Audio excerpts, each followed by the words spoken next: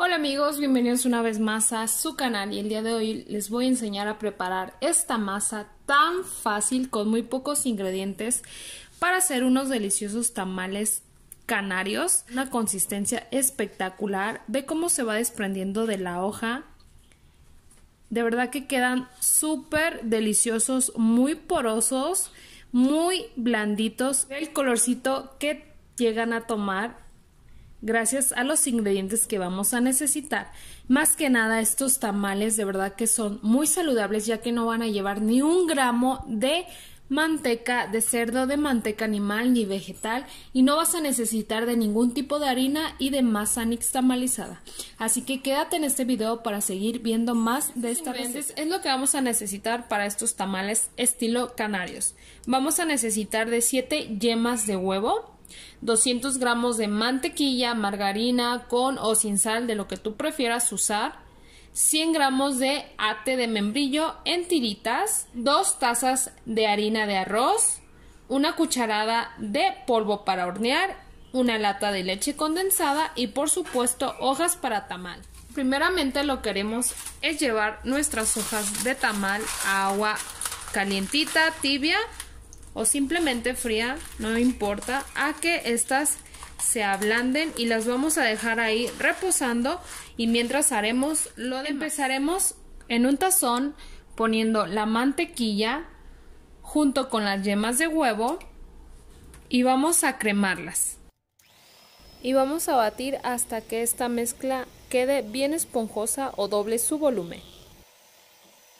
Cuando ya doble su volumen incorporaremos la leche condensada y vamos a seguir batiendo hasta incorporar todo muy bien. Y batimos por lo menos unos 3 minutos hasta incorporar todo muy bien y volver a esponjarlo.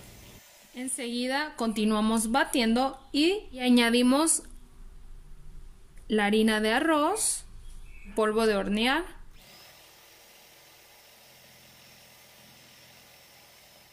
y mezclaremos perfectamente hasta integrar por completo todos los ingredientes y dejaremos reposar por un espacio de 10 minutos y listo. Quiero mostrarte la consistencia que tomó esta masita y ve, así tiene que estar perfectamente lista para untar en la hoja de tamal.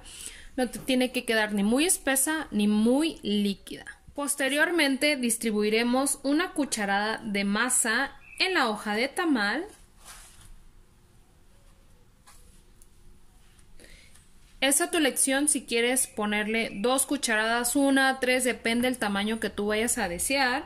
Y enseguida colocamos una rajita de ate justo en medio y envolvemos.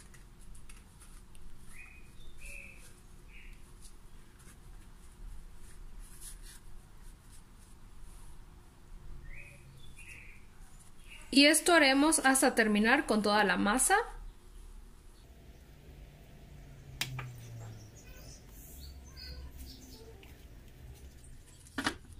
Luego los vamos acomodando en la vaporera. Y para finalizar, los cocinaremos durante 45 minutos o hasta que se desprenda fácilmente de la hoja de tamal y van a estar listos para servir. Y bueno amigos, ya han quedado los tamales y vamos a probarlos, vamos a ver su consistencia, vamos a ver qué pasa con esta masa tan diferente con esta harina de arroz y bueno, lo principal aquí les voy a mostrar el desprendimiento y bueno, al parecer va perfecto, se desprende muy bien. Wow, se ve muy bien.